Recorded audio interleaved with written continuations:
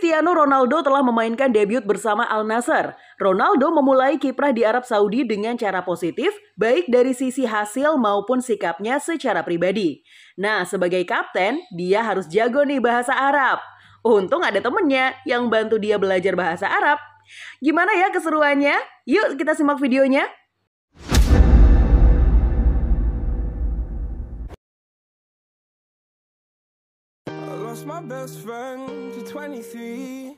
Ronaldo harus menunggu cukup lama untuk bisa memainkan debutnya bersama Al Nassr. Pemain 37 tahun itu tak bisa langsung bermain lantaran membawa sanksi larangan bermain dua laga ketika masih membela Manchester United. Ada aspek lain yang cukup menonjol dari debut Ronaldo bersama Al Nassr. Ronaldo dilaporkan menunjukkan bahasa tubuh yang positif hampir di sepanjang hari. Kedatangan Ronaldo di Al Nassr disambut dengan tangan terbuka. Bukan hanya di kalangan fans maupun para bos klub, akan tetapi juga para pemain. Seluruh elemen di Al Nassr menerima kedatangan Ronaldo. Sebagian besar pemain Al Nassr membuat unggahan soal Ronaldo di akun media sosial miliknya.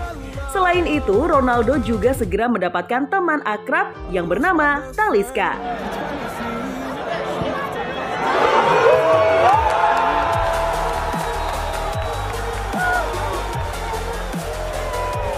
Taliska membantu Ronaldo beradaptasi dengan kehidupan baru di Arab Saudi. Taliska sendiri sudah bergabung dengan Al Nassr sejak musim 2021-2022 lalu. Taliska kini menjadi teman baru Ronaldo di dalam dan di luar lapangan.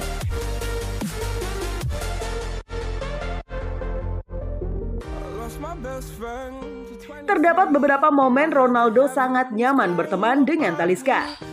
Salah satunya adalah ketika Ronaldo diajari berbahasa Arab yang baik dan benar. Saat itu Ronaldo dan Taliska berjalan masuk lorong dan berbincang soal bahasa mereka di sana. Suasana ini berbanding terbalik saat di Man United.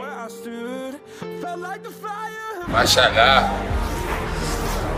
Duh, Cristiano Ronaldo.